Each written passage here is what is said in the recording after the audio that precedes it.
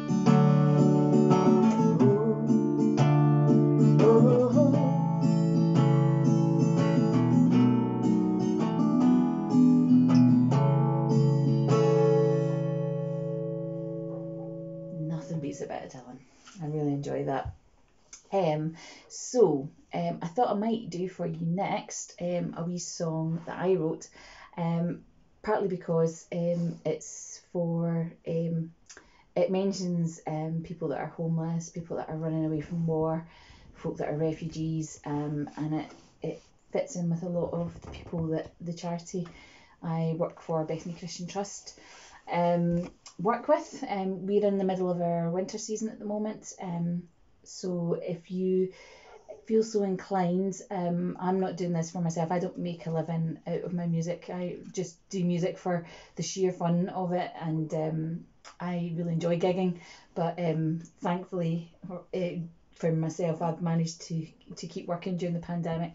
Um, so, um, but if you would or feel inclined um, and would like to, um, please consider um, donating to Bethany. Um, I'll make sure there's a, a link to our website in the uh, underneath the video when it goes up. Um, we're in the middle of our winter season, as I say. Um, we've just opened, or not really just opened, so around about the end of September, beginning of October. Um, the what we used to call the night shelter in Edinburgh opened. It's now called the Welcome Centre because um, due to the pandemic, everything's changed quite a bit. Um, and um, it's now um, in a hotel that's not in use at the moment um, in Haymarket in Edinburgh um, because it means that people um, have to socially distance and they have their own rooms. Um, so at the moment, the charity is running its um, Buy a Bed campaign again, so you can find details of that on its website. So I'm gonna um, I'm gonna sing this wee song that I wrote called Lullaby for the Forgotten for you. Um, it's just it was my reaction a few years ago to what was happening, particularly with the the refugees who are arriving on the Greek islands from places like Syria and North Africa. Um, and uh, I hope you like it.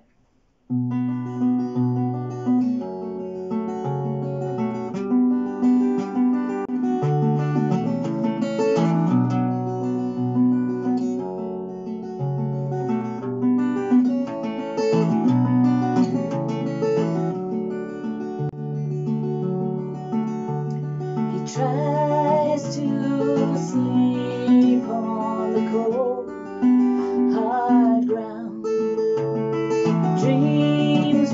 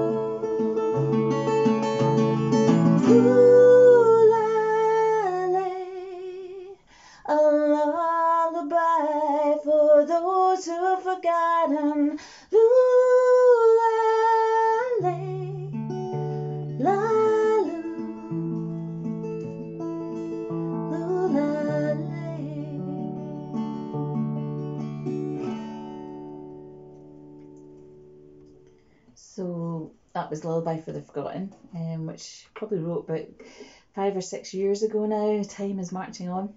Um, so um, I'm going to turn to the, the Christmassy side of tonight's gig. Um, I hope you don't mind indulging me. Um, I'm going to play you my favourite um, Christmas carol. Um, most of you probably know I didn't come to folk music until I was in my 20s after I'd been to uni and I joined Luckenbooth which is over 20 years ago now. Um, and uh, before that, I was really classically trained as a violinist, and um, so I really love this carol, partly because the music is uh, written by one of my favourite composers, Gustav Holst, um, and it is a beautiful setting of a poem by Christina Rossetti.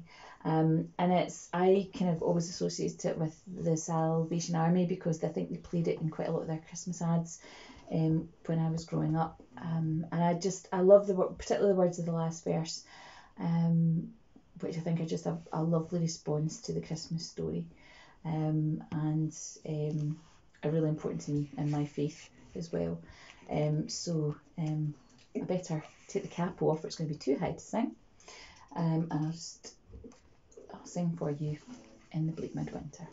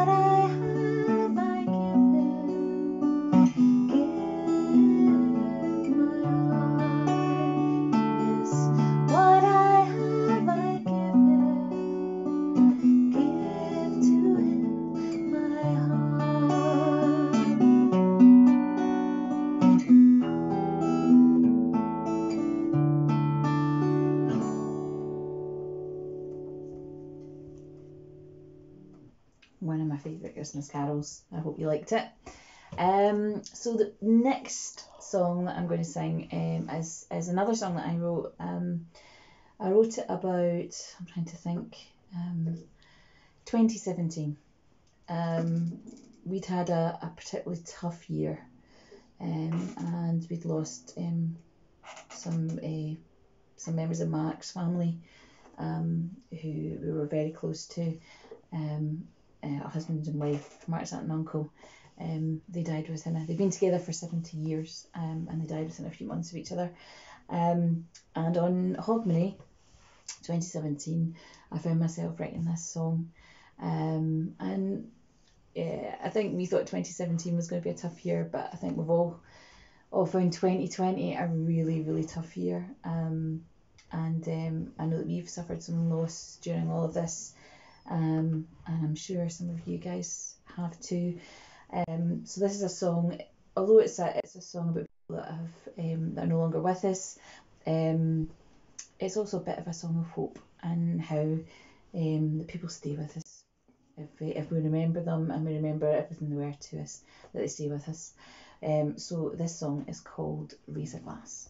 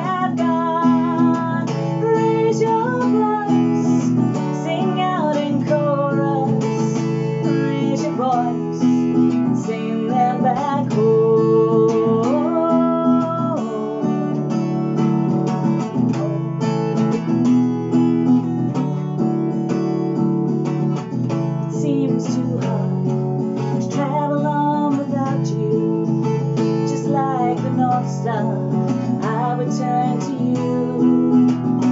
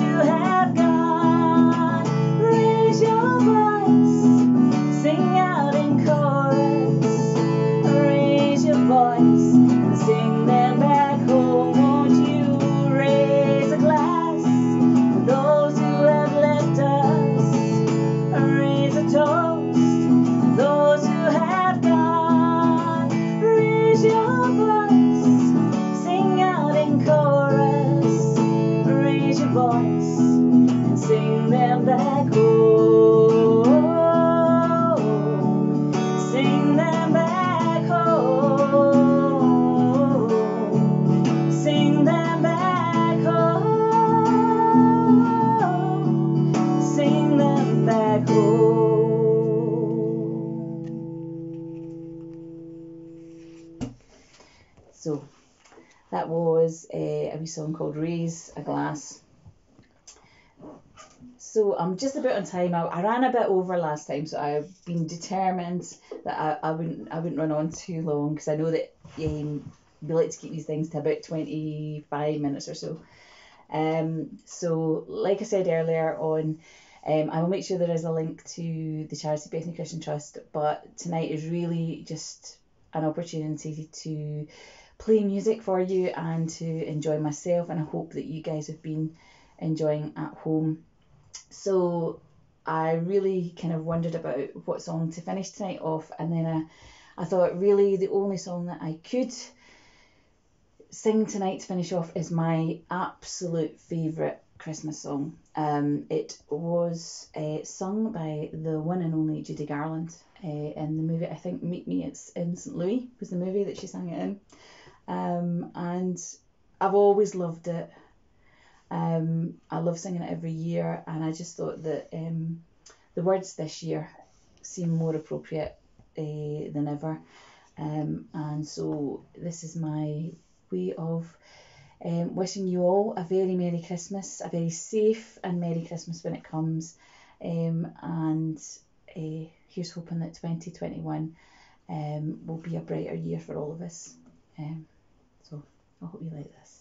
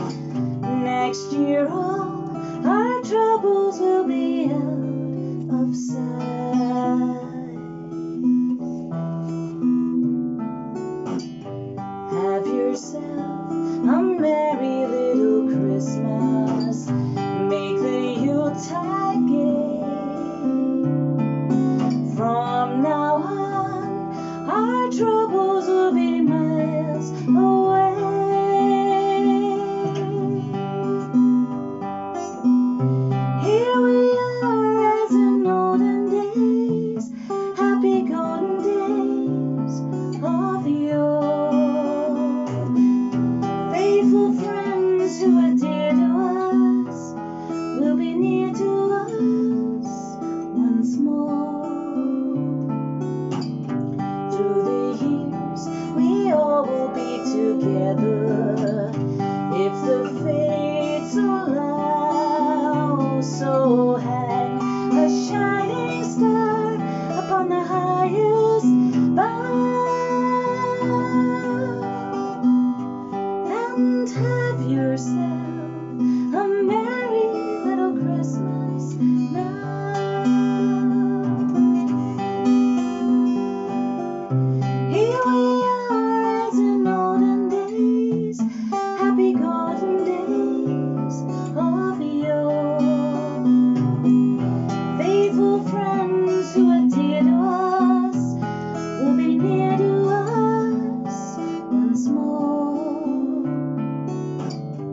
Someday soon we all will be together if the fates allow.